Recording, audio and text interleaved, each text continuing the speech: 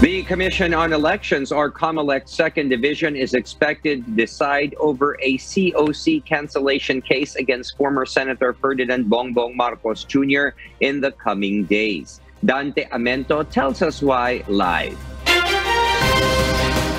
Uh, yes, Dante, good evening. Go ahead.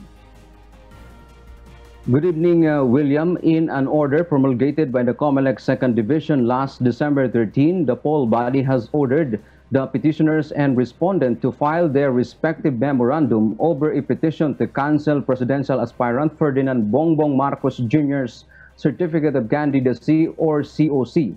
Both parties were given five days to submit their memorandum or response upon receipt of the order, after which the case is deemed submitted for resolution or the commissioners in charge will decide whether or not Marcos should be allowed to run in 2022 elections.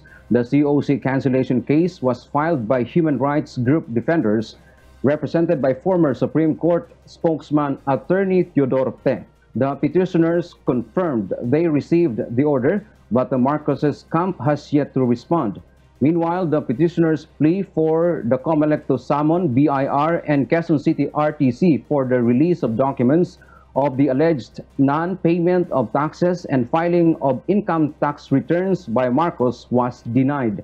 The poll body also rejected Marcos's camp request for face-to-face -face oral arguments on the case.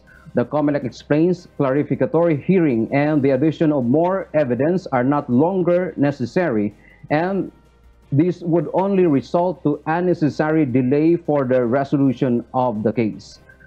William, there are currently seven petitions against Marcos before the poll body, including four petitions for disqualification, two petitions to cancel COC, and one petition seeking to declare Marcos as nuisance candidate. And that's our latest live from Quezon City. Back to you, William.